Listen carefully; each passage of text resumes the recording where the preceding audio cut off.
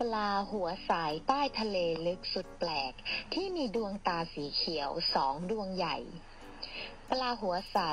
เป็นปลาน้ำลึกที่อาศัยอยู่ในน้ำลึกประมาณ 400 ถึง 2,500 เมตร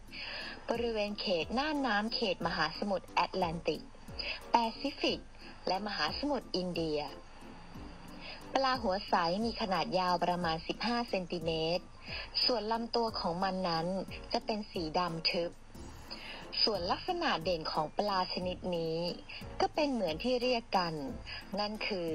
ส่วนหัวของมันจะใส มองเห็นอวัยวะภายในใต้อย่างชัดเจน คล้ายกับห้องนักดิน และลักษณะเด่นที่แปลกอีกอย่างหนึ่งก็คือ มันจะมีดวงตาที่ใหญ่อยู่ภายในหัวของมัน ซึ่งดวงตานี้จะมีแนววิสัยมองขึ้นไปด้านบนตามธรรมชาติ เพื่อใช้สำรวจเหยื่อที่อยู่ด้านบน โดยนักวิทยาศาสตร์พบว่า มันเป็นปลาที่มีสายตาดีมาก มันสามารถโฟกัสภาพ เพื่อจับเหยื่อได้จากในระยะไกล แต่ถึงแม้จะมีวิสัยการมองเห็นตรงขึ้นไปด้านบนอย่างนั้น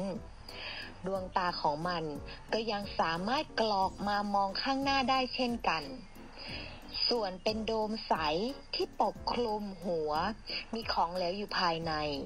ช่วยทำหน้าที่ปกป้องดวงตาอีกชั้นหนึ่ง นอกจากนี้ มันยังมีจมูกรับกลิ่นสองจุดอยู่เหนือปาก ซึ่งมองแวบแรก อาจทำให้เข้าใจผิดว่า นั่นคือดวงตาของมันได้ นับว่าเป็นความมหัศจรรย์แห่งธรรมชาติจริง ๆ ทั้งนี้ ปลาหัวใสเป็นที่รู้จักในปี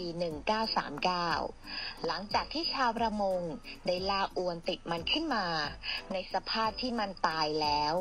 และมาถูกค้นพบอีกครั้ง โดยนักวิจัยทางทะเลชาวอเมริกัน เมื่อปี 2004 ในสภาพที่ยังมีชีวิตอยู่ บริเวณชายฝั่งแคลิฟอร์เนีย สหรัฐอเมริกา